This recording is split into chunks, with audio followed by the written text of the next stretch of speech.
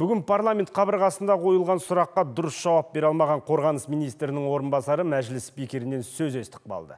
Мәжілістің жалпы отырысына келген генерал-майорға Нұрлан Нығматулин сіз білдей бастықсыз, білу керек қой деп шүйлікті.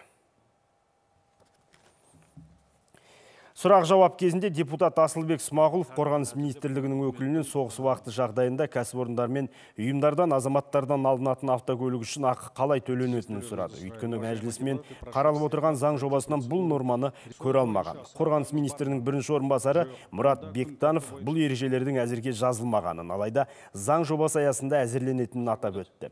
Ал заң жобасы туралы баяндама жасаған ұлттық экономика министрі Руслан Дәленов Бектановтың жауабын толықтырып көліктерге қатысты ереже ереже 2005 жылдан бері бар екенін айтты. Минобороны вообще не знает ничего. Мұрат Кәрібаевич, оны білу керек қой. Сіз білдей бастықсыз, оны білмесеңіз, ертең сіздің қол астында жұмыс істеген қайдан біледі?